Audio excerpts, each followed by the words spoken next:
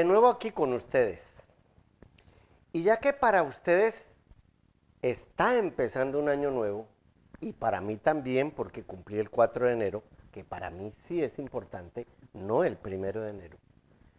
Quiero tocar un tema que me encanta porque me llega al alma a través de un amigo muy querido, a quien conozco hace más de tres décadas, con quien he compartido muchos caminos. Se llama Ricardo Santa María y acaba de escribir un libro fantástico. Se llama El Renacer. Y quiero que toquemos este tema del renacer porque él escribió todo lo que vivió a través de algo que le acaba de ocurrir. Y por eso dice que renació. Le acaban de hacer y salir de allí de una cirugía de corazón abierto. Y eso es renacer. Ricardo Santamaría, ex embajador, ex consejero, ex director de Reconciliación Colombia, mejor dicho, ha tenido todos los cargos que un líder metido en el servicio público ha podido tener. Pero hoy en día es el vocero de un liderazgo con propósito.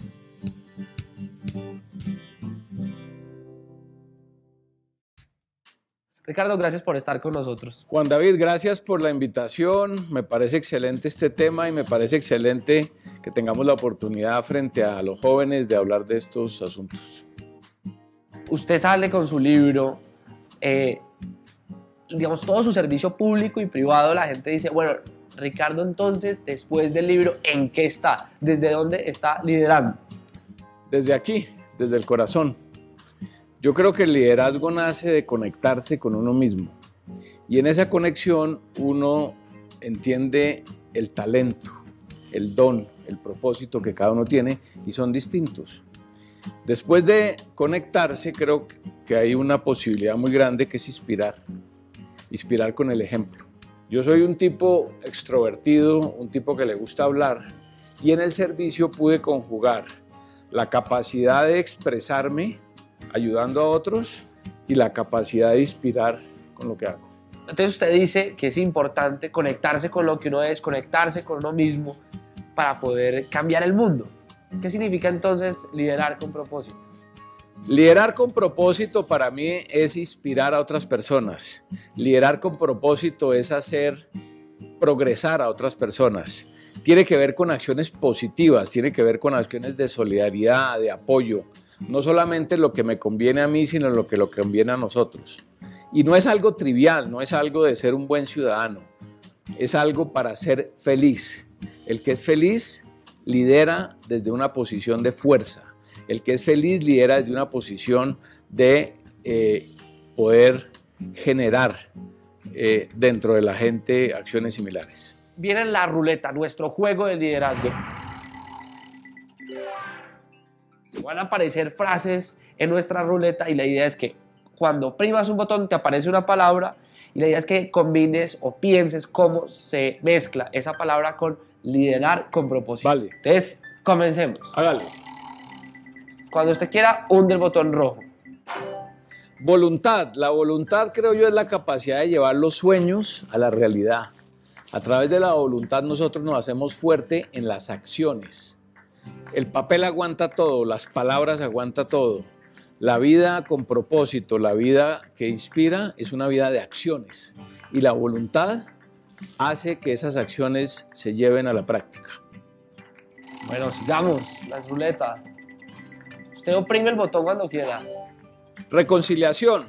Es el momento más importante que los colombianos vivos estamos atravesando en Colombia.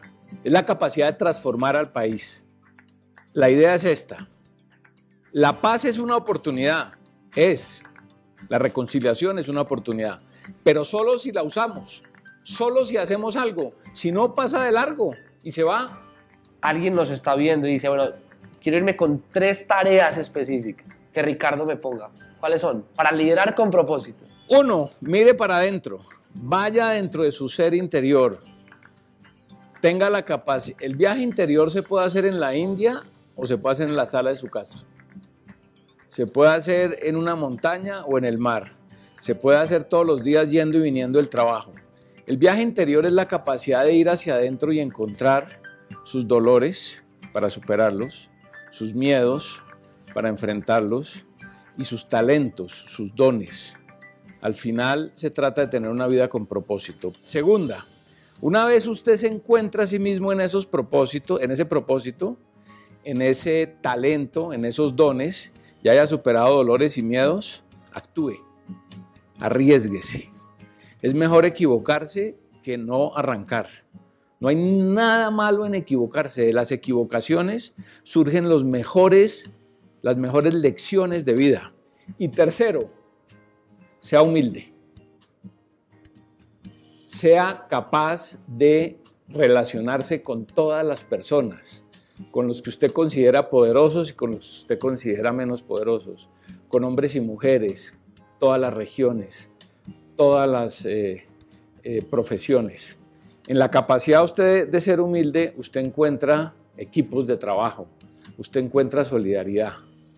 Y cuando usted lleva sus sueños a la práctica, esa intención, usted se vuelve indestructible. Ricardo Santamaría lo ha dicho. Primero hay que comenzar un viaje interior para poder liderar con propósito. Liderar con propósito significa decirle no al ego y más bien decirle sí al corazón y sí al oído, a ese oído que escucha a los demás, sin importar cargos y títulos. Y que aprovechemos este momento de reconciliación para liderar las transformaciones que necesita Colombia. Bueno, mis queridos y mis amigas agries, dijimos en un programa pasado que a partir del primero de enero, no por ser fecha de año nuevo para ustedes, sino porque era el primero de enero, Marte entró a Aries. Y ya llevamos con Marte en 10 grados de Aries, o sea, ya pasó por el primer decanato. Y ahora va a afectar más a los Leo. Y a los Aries también, porque a Leo lo rige el Sol y el Sol para ustedes está en Aries. ¿Qué hay que hacer con ese Marte en Aries? Oiga, pues coger esa energía que somos y sacarla del lodazán, quitarle la zarza, la basura que no nos deja hacer. ¿Saben qué? Quemen todo eso que ya no quieren ser ustedes, pero sépanlo hacer, para que las chispas no le caigan a los demás. Porque Aries es agresivo, acelerado, impaciente. Ay, alguien me va a decir, no, yo no soy así. Bueno, debe tener un ascendente Capricornio o agua que le baja un poquito el volumen, pero algo en ustedes siempre está así. Aprovechen a Marte en Aries que va a estar ahí y próximamente en conjunción con Urano. La luna está en Tauro y ese toro enamorado de la luna, pues bien, es la primera luna del año en Tauro. La próxima, falta tiempo. Pero digo, la primera luna eh, del año en Tauro, eh, después de haber empezado el año. ¿En qué sentido? No es el año, no es el año eh, social, no, es que ustedes los Tauro también están empezando un año emocional. Cuando la luna está en Tauro se exalta, le encanta estar en Tauro. La familia, la casa, la buena vida, la nevera llena, la alacena. Si hay con qué, recuerden que Tauro es el signo que jale el arado que lleva la carreta. Pero esa carreta tiene que ir llena para compartirla con los demás. Lo que ustedes tienen, por favor, no lo atesoren. Géminis no tiene ningún factor ahora y me parece que como la luna entra a Géminis también la mañana precisamente eh, y se va a quedar ahí dos días y medio, pues salgan de personas o ustedes mismos váyanse de ambientes donde saben que ya no van a ser bien recibidos. Déjenlo a un lado. Quédense atrás. Sean inteligentes, Géminis, emocionalmente, la luna.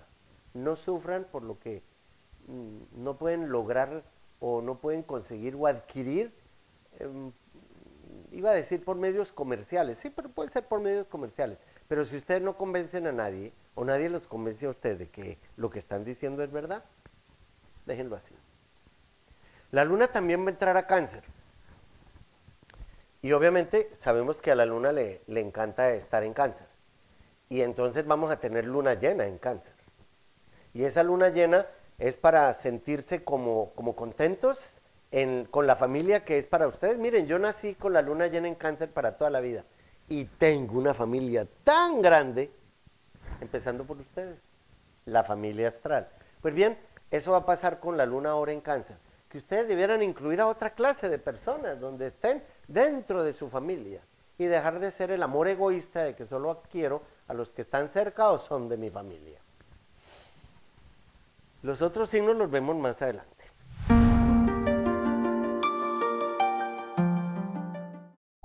Hola amigos de Puerta Astral.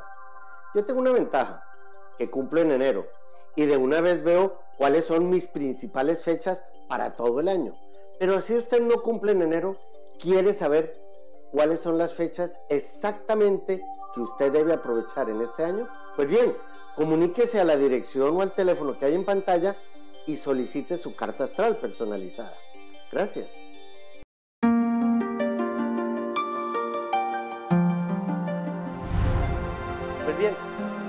Encanta el título que él le ha puesto al libro porque conozco a Ricardo eh, astralmente también y él es Sagitario ascendente Capricornio. Yo lo llamo el filósofo Sagitario, Capricornio, ermitaño. El filósofo ermitaño. El renacer lo estudiamos en el paso de escorpión a Sagitario, porque si en escorpión nos clavan el veneno y yo transformo ese veneno en suero, renazco. Si en escorpión está la crisis, la crisálida, y venzo la crisis, algo de mariposa, renazco.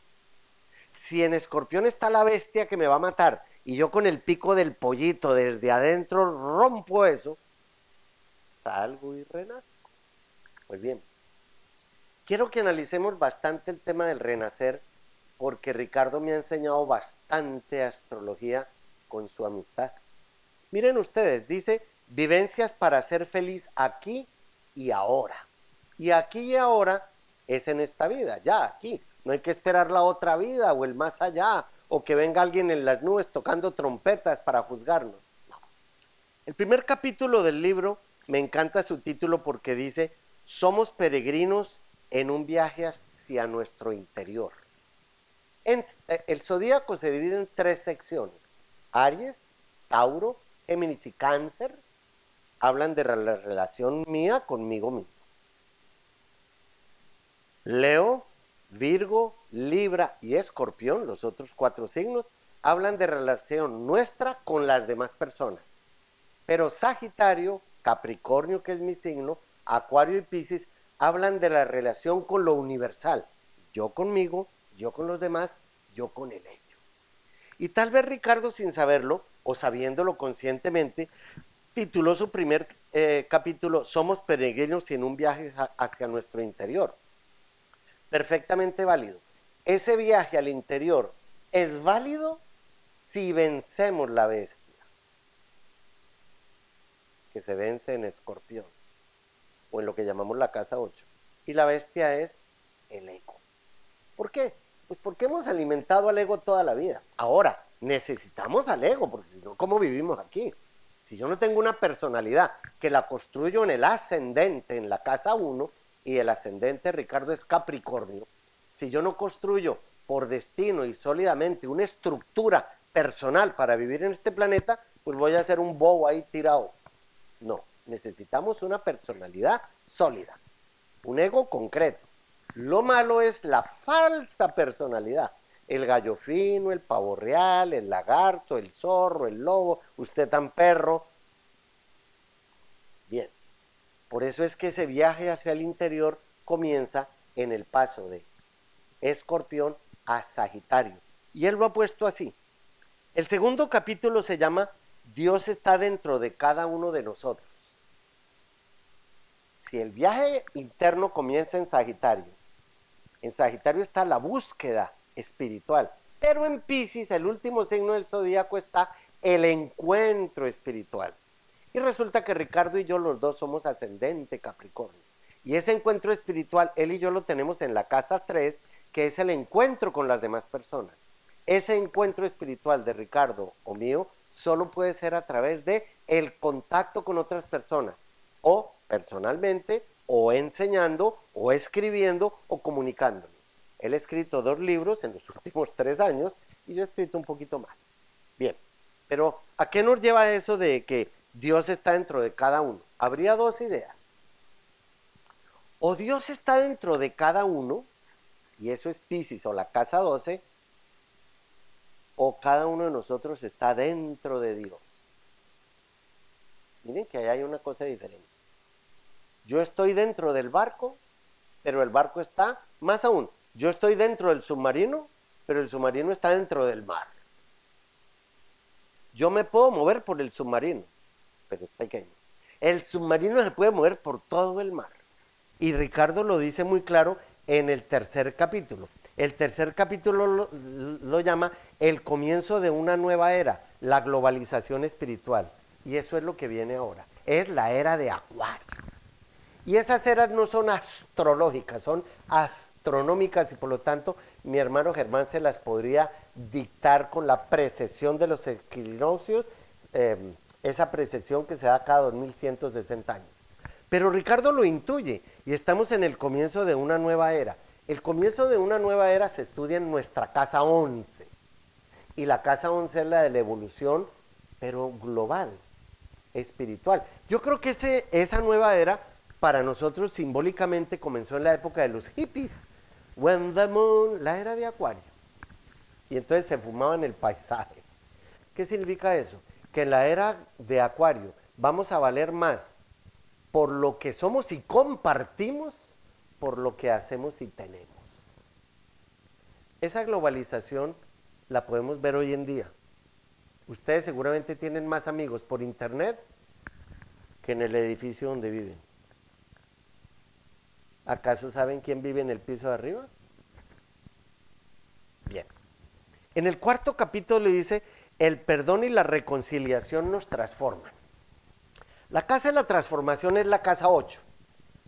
Pero yo tengo aquí algo que compartir con Ricardo en su libro.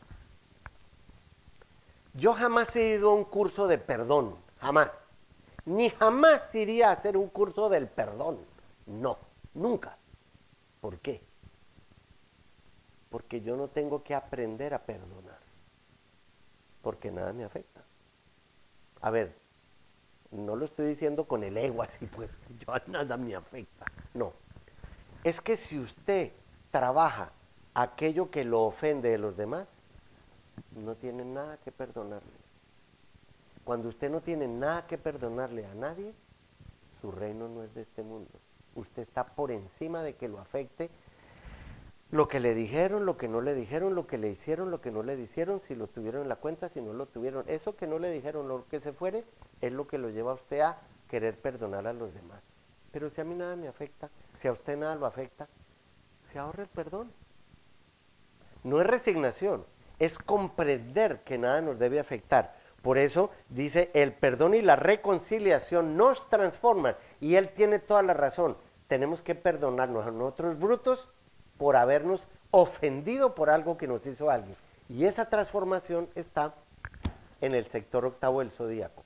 Por eso las siete frases del Gólgota son una por cada planeta de la antigüedad, porque eran siete, o son siete en la antigüedad. Y una de ellas fue, perdónalos porque no saben lo que hacen. Pues bien, el único perdón válido para mí es perdonarme a mí mismo por lo bruto que fui cuando me afectó algo que me dijo alguien. El quinto capítulo dice, somos creadores de nuestro destino. También tiene la razón.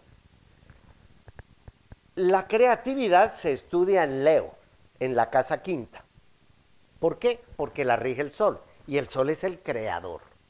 Si somos creadores de nuestro destino, como lo dice Ricardo, necesitamos unos materiales que nos dé el destino para ser creadores de eso.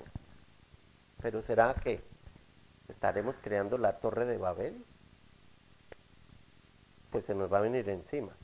Si somos creadores de nuestro propio destino, como, como Ricardo lo dice ahí, no solo debemos tener unos materiales para construir ese destino, sino usar la mejor de las herramientas para utilizar esos materiales de una forma correcta. Ahora usted me va a preguntar, ¿y cuáles son los materiales? Pues mire para el lado, porque todo lo que lo rodea y lo acompaña es el material que le dio la vida porque usted lo pidió y está en su carta astral, para que desde la casa 5 sea co-creador. Ser co-creador es ayudarle a la creación, porque usted y yo estamos aquí gracias a la distancia que hay entre el sol y la tierra, y porque el alma, al saber qué tiene que hacer aquí, la tierra le dio un vehículo para que se manifieste acá y viva su destino tal como lo dice Ricardo allí. Porque a uno las cosas le suceden por destino o por imbécil, porque sabía lo que tenía que hacer y se le cayó la torre.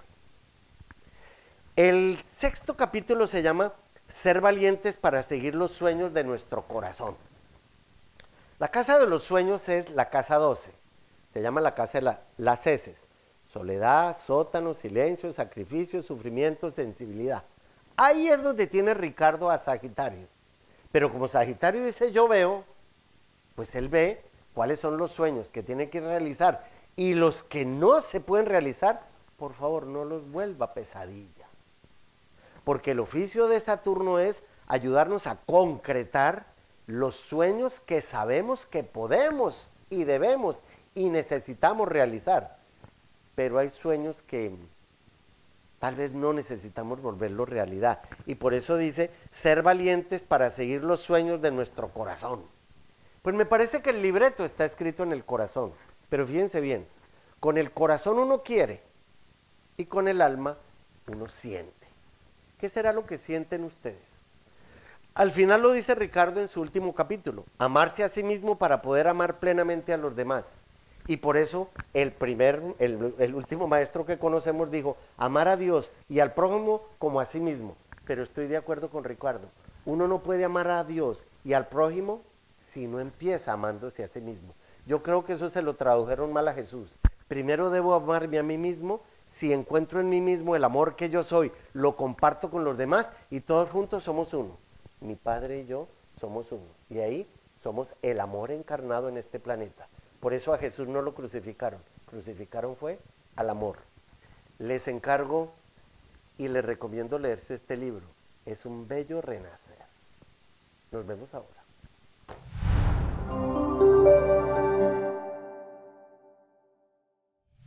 Bueno, Leo, además de tener aún la rueda de la fortuna encima, que es la rueda de la felicidad, tienen todo el triángulo de fuego. La linda conjunción de Venus y Júpiter, que hace rato que está en Sagitario, los está favoreciendo. Ahora con la de Marte y Urano en Aries. Marte significa que se les está acercando una nueva energía. Alguien viene porque los necesita a ustedes.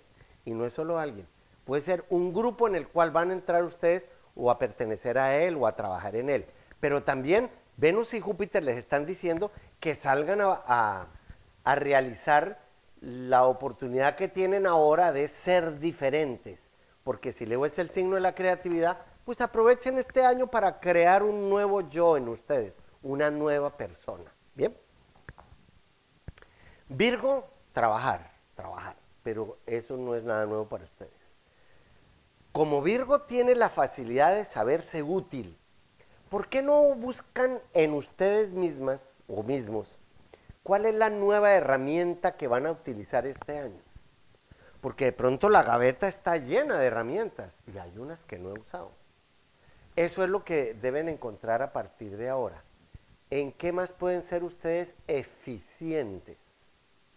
Porque de pronto, por no perder el sueldo, que es lógico, a veces se pierden la oportunidad de utilizarse a ustedes mismos como otra herramienta en otra parte. Piensen, analicen qué más pueden hacer ustedes. Libra tampoco tiene ningún factor en el zodíaco ahora que, que la mueva a algo diferente. Sin embargo, como hay planetas, eh, como está todo el triángulo de fuego, ustedes, el aire que son ustedes, tienen que incentivar a otras personas. ¿Saben qué? Libra es el signo que más puede darle a los demás de la armonía, de la paz, de la compañía, sin esperar nada a cambio ni que se lo agradezcan. Porque como es una balancita, si ustedes llevan lo que ustedes son a otra persona, pues miren, negocios de eh, modelaje, perfumería, moda, diseño, decoración, estética, barberías, estilistas, eh, protocolo, arquitectos. Eso está muy, muy bueno este año. Desarrollen más sus dotes de relacionistas públicos. Escorpión tampoco tiene ningún planeta encima, pero los que hay en Pisces, Neptuno y Quirón, y el futuro de cáncer los está favoreciendo. Yo creo que Escorpión tiene que ahora usar las tenacitas para no aferrarse tanto a lo que tiene que dejar ir y salir a realizarse en otra parte. Este es un año de mucha realización. Si transforman todo aquello que los está perjudicando, personas tóxicas o ser ustedes la persona tóxica, hagan un proceso de alquimia. Todos los negocios que tengan que ver con seguros de vida, dineros compartidos, sociedades, pueden ser muy favorables. Estoy diciendo algo así y quién sabe quién no tendrá eso y yo a ver qué tienen en la carta astral. Pero es algo general para ese signo. Pues bien, los que faltan en un ratito.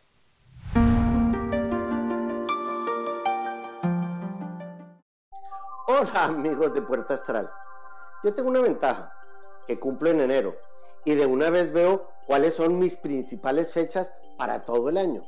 Pero si usted no cumple en enero, quiere saber cuáles son las fechas exactamente que usted debe aprovechar en este año, pues bien, comuníquese a la dirección o al teléfono que hay en pantalla y solicite su carta astral personalizada. Gracias.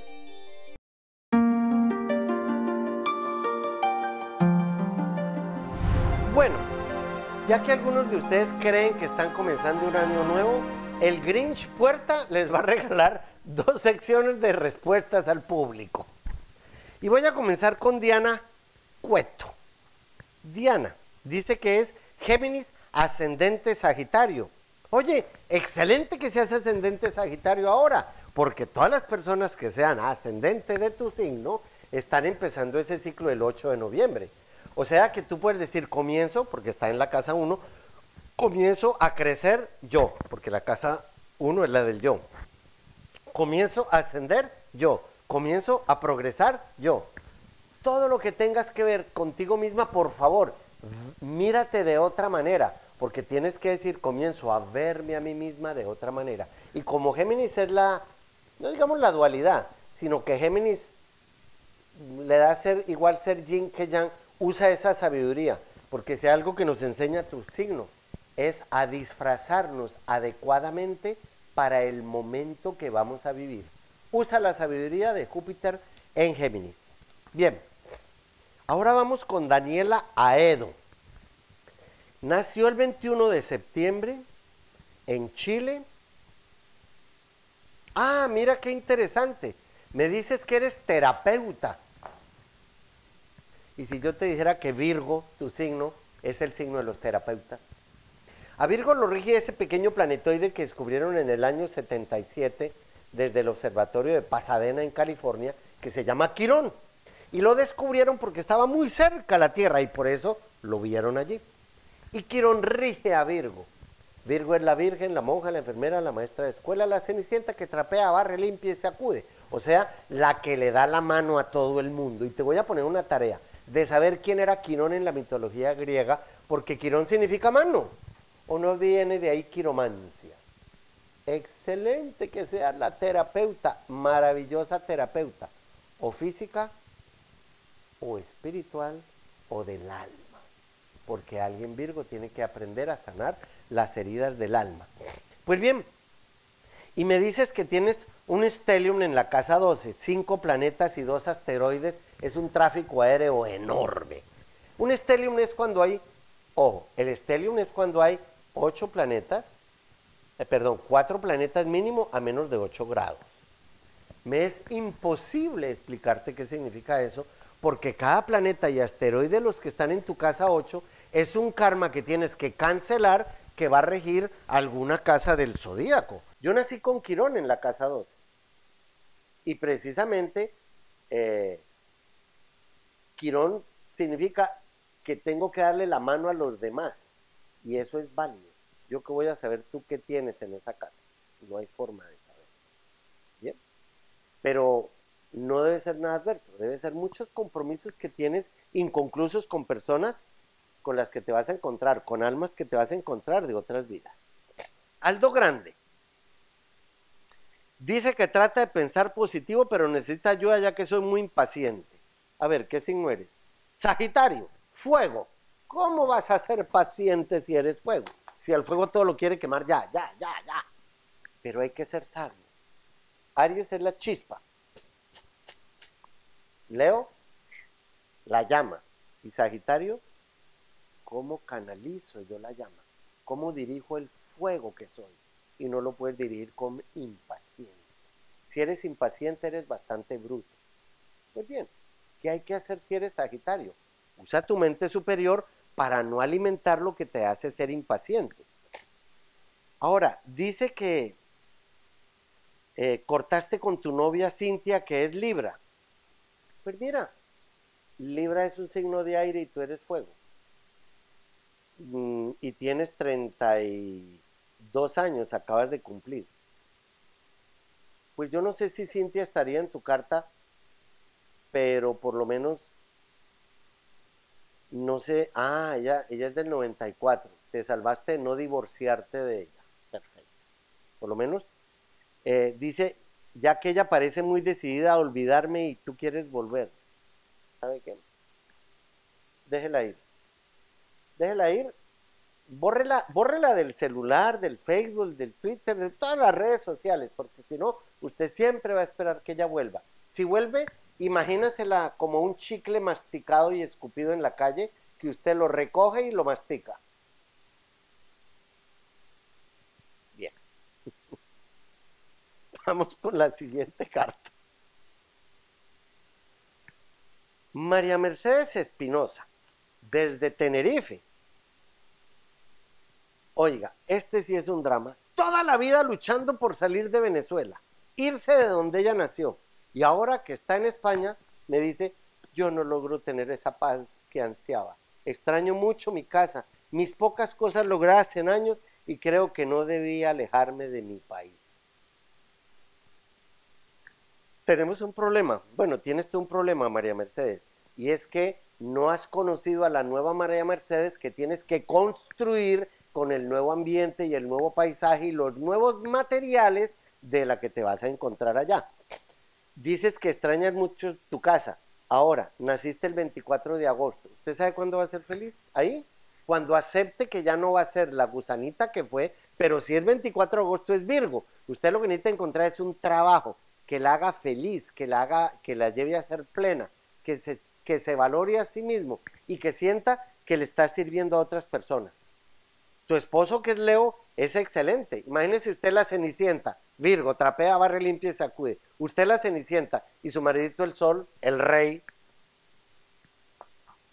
Date un tiempo, porque hasta tu hijo es escorpión. Eh, perdón, es Virgo y tu hija es escorpión. Em,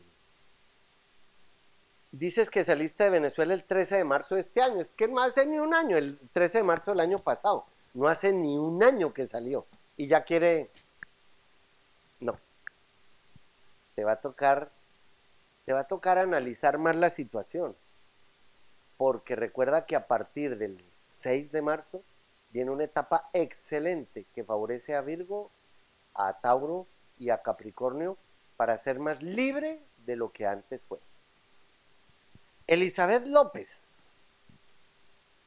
Elizabeth López es cáncer, nació en Camagüey, y dice, por favor, ayúdeme a interpretar qué debo hacer. Mi rama del trabajo es en, en productos alimenticios. Pues te cuento, mi querida Elizabeth, que si eres cáncer, aquí están tus productos alimenticios. Porque cáncer es quien rige los pechos maternos. ¿O qué fue tu mamá para ti cuando naciste? ¿No fue un par de tetas que es un restaurante? Perfecto, estás en el trabajo que es.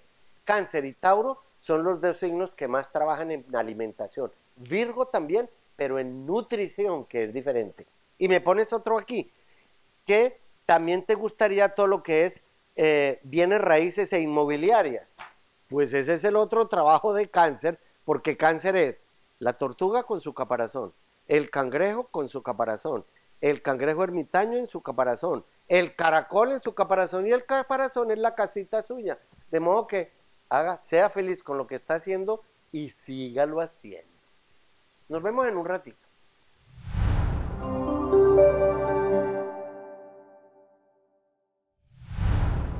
Cuando uno aprende lo que es el simbolismo de la astrología, empieza a cogerle como respeto a unos planetas, cariño a otros, y uno de los que uno le coge cariño, pues es a Venus y a Júpiter. Pues bien, mis queridos Sagitarios, ustedes tienen ahora la conjunción de Venus y Júpiter en su signo. Y si Venus es lo que a uno le gusta, si Venus es el placer, la armonía, la belleza, las relaciones amables. Recuerden que Afrodita cuando nació, las tres gracias la llevaron al Olimpo y todos se sintieron como si el arco iris hubiera llegado. Pues bien, es el momento de ver, Sagitario, su vida con los colores del arco iris. Porque hasta el negro es un color. Gócense el negro si es que están detestando la negrura que creen que pueden vivir. Capricornio tiene muchísimos planetas ahora. Saturno, Mercurio, Plutón, el Sol, el nódulo sur. Pero hablemos de Mercurio. Hermes, el mensajero de los dioses. Cuando Mercurio está en Capricornio, uno tiene que mm, redundar la seriedad de Capricornio en el pensamiento. O sea, que lo que va a decir lo diga de forma tan contundente que como Hitler, así duro se haga entender. Eso es un Mercurio en Capricornio. O decirle a los demás las cosas como cuando se les muestra la cabeza de la medusa, quedaron tiesos. Como está al lado de Saturno, y Saturno es la abundancia de conocimiento, Saturno abundancia y no conocimiento, aprovechen la experiencia que trae los años, si es que ustedes ya tienen años, para no malgastar a Mercurio su inteligencia con personas que no valen la pena o en temas que no valen la pena o en momentos o lugares que ya ustedes se tienen que ir de ahí. Acuario tiene la lunita negra encima porque ella va y viene y va y viene y ya pasó a Capricornio y volvió a Acuario y seguramente en la casa 11, que es la casa natural de Acuario, cuando la luna negra está en Acuario uno siente como, como amigos o personas que, que ya no son tan amigos ni tan afines con uno mismo. Y así debe ser. La luna negra son las frustraciones sociales cuando está en Acuario. Y como Acuario es el signo de los sismos, compañerismo, humanismo, consumismo, pues la luna negra les va a hacer una, una revisión y como que les quita una cantidad de personas y de temas que les puede estar haciendo malgastar mucha de su energía. Pero cuando la luna negra está en acuario, uno también se puede volver un brujito y sin tabú escandaliza a los demás. De modo que lo que tienen que decir, díganlo. Neptuno y Quirón todavía van a estar un, buen tiempo juntos en Pisces. Quirón ya casi se va. Pero, ¿y si Quirón es la maestría?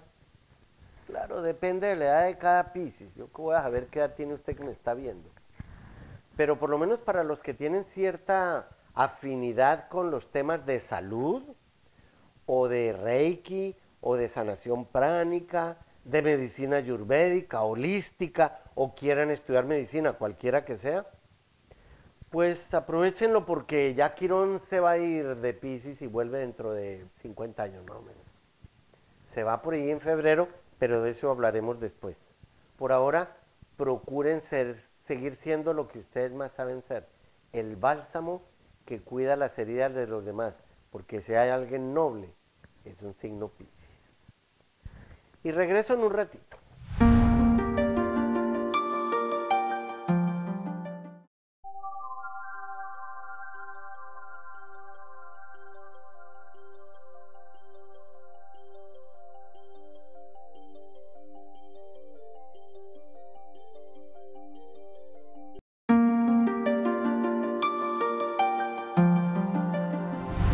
Bueno, ahora voy a aprovechar eh, las ondas de la era de Acuario para conectarme con alguien que está en Australia y que mm, tiene algunas inquietudes en su carta astral. Hola Mónica, ¿cómo estás por allá? Pues mira, lo que vamos a hacer es ver qué es una carta astral primero. Si tú naces el 14 de septiembre, pues el sol ya llevaba 14 días de estar en Virgo. Pero al nacer a las 7 de la noche allá en Villavicencio, en Colombia, eres ascendente Aries. Eso es lo que llamo yo una hormiga arriera. Porque por lo Virgo, trabajar y trabajar y trabajar. Pero por lo Aries, una Amazonas guerrera cortacabeza. Bien, el círculo de adentro no va a cambiar jamás. Pero el círculo de afuera nos muestra qué es lo que estás viviendo en este momento de tu vida. De modo que cuéntame, ¿qué te, qué te gustaría que viéramos? ¿Qué quieres saber?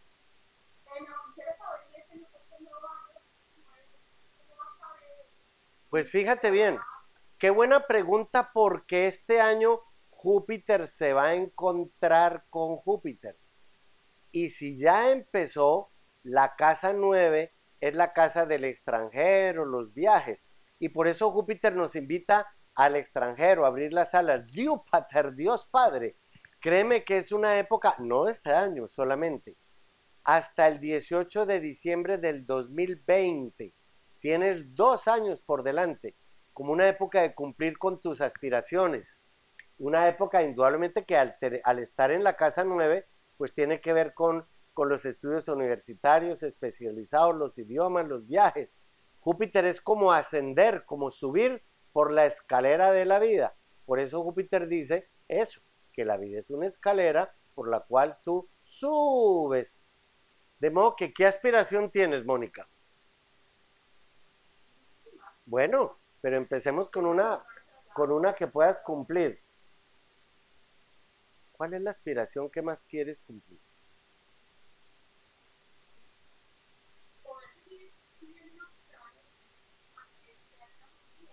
Fíjate bien, tu vida en el extranjero la rige el signo Sagitario.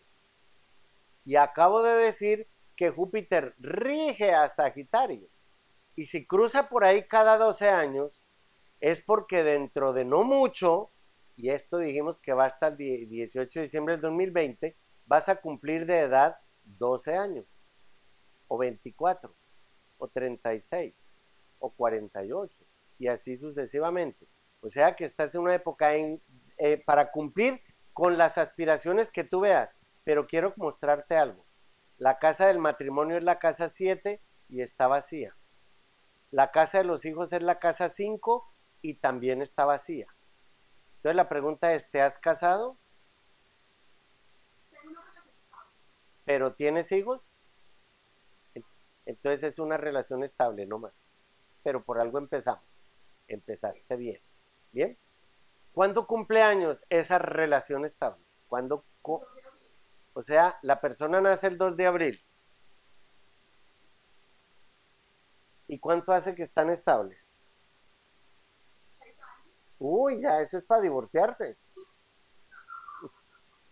Seis años. No, qué aburrición. No, peor. Pues mira, tienes hasta el 5 de diciembre de este año, todo el año, para, formar, para formalizar tu relación teniendo un hijo. Si tú eres Virgo, ascendente Aries, en la casa de los hijos tienes a Leo. Entonces uno diría que bueno tener un hijo Leo. Pero los hijos Leo se hacen es en Halloween. Por allá en octubre o noviembre. Pero espera. También tienes ahí a Mercurio. Y Mercurio rige a Géminis. Los hijos Géminis son facilísimos de hacer. Se hacen cuando tú cumples años. Mes. ¿Bien? Eh, pero como a tus hijos los rige Leo, los rige el Sol y tú naciste con el sol en Virgo, tener un hijo Virgo. Los hijos Virgo se hacen pues eh, dentro de un año, como en noviembre, o eh, como diciembre, no, sí, noviembre o diciembre. Eso sería pues lo que hay ahí. Y por último, tu maternidad la rige Tauro, porque naciste con la luna en Tauro. Y la luna, eh, la maternidad. Los hijos Tauro se hacen en, en, entre julio y agosto, o sea, en fecha Leo. Bien, ahí deje tu calendario. De modo que habría que, habría que programar cuál de esos quiere. Bien. Bueno, ahora, mi mamá era, mi papá era Virgo y mi mamá era Piscis. Todo Virgo se viene a encontrar con Piscis. Por obligación, Virgo y Piscis forman un eje. ¿Ves? ¿Hay alguien Piscis en tu vida? Listo, perfecto. Ya se dio. Porque si no, te iba a poner a tener hijo Piscis también. Pero podrías tener hijo Piscis. Los hijos Piscis se hacen en el mes de Géminis. O sea, entre el 21 de mayo y el 20 de junio. Pues lo dejaremos ahí por ahora, Mónica. Bueno. ¿Y ustedes? Gracias. Y ustedes y yo nos vemos en un ratito.